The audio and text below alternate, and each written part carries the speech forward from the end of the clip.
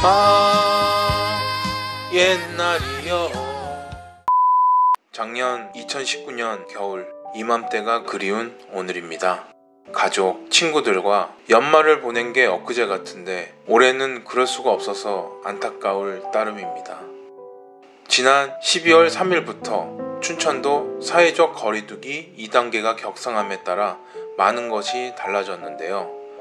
2단계는 9시 이후부터는 모든 게 멈춤 단계입니다.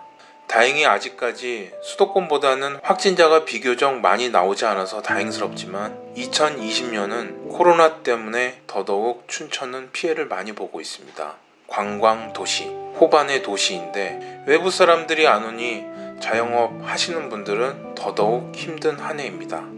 그래서 오늘은 코로나19 사회적 거리두기 2단계가 격상된 현지 모습을 촬영했습니다.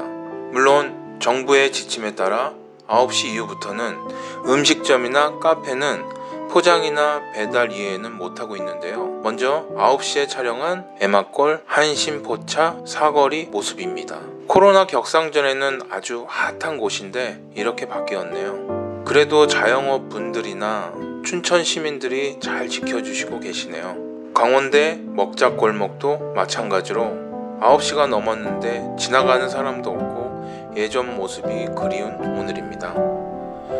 이곳은 중앙로 지하상가입니다. 사람 하나 없이 상가들도 문을 닫았네요. 명동길입니다. 여기도 마찬가지입니다. 그래도 우리나라 시민의식은 최고인 것 같아요. 시 정부 지침에 따라 코로나를 걱정하고 어서 빨리 종식되기 위해서는 다들 피해를 감수하고 지켜지는 모습들이 해외 국가와 비교되는 모습이네요. 오늘 촬영을 하면서 기분이 묘했습니다. 작년, 재작년 이맘때는 이 거리가 사람들로 북적이곤 했는데 지금은 모든 게 멈춰버린 것 같아서 가슴이 아프네요.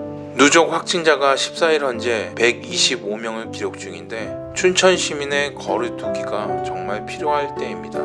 일단 12월 28일 자정까지로 2단계를 적용하기로 했지만 확진자가 계속 늘어날 경우 사회적 거리두기는 내년 초에도 같을 것 같아요.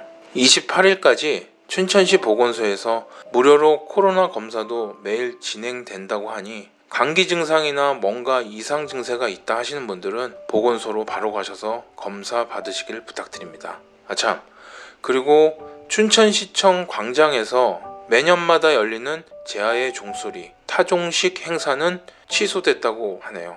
그냥 가족과 집에서 종치시기 바랍니다.